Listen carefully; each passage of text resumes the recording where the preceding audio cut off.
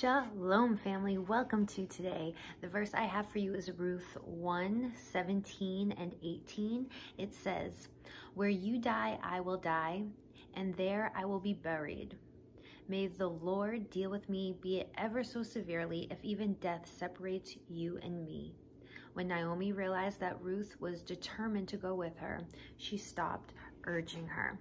So, what's going on in this verse is young widowed Ruth is pledging her faithfulness to her widowed mother in law, Naomi.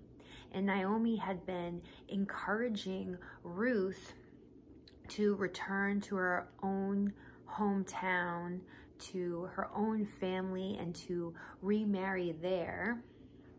But Ruth cannot be persuaded.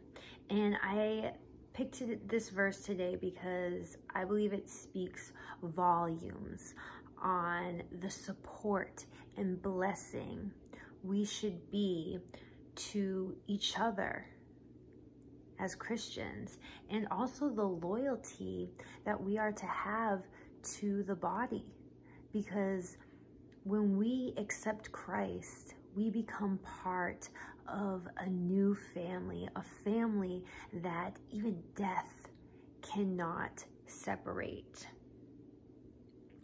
God never intended us for intended for us to do this life alone. You'll remember in Genesis 2:18 it says the Lord God said it is not good for the man to be alone. I will make a helper suitable for him. And this verse is not just a verse about husband and wife, it's a verse to mankind, a message to all of God's children. And so, my prayer today is we take a note from Ruth and put the well being of our brothers and sisters in the faith above our own. I love you all. Have a blessed day. Shalom.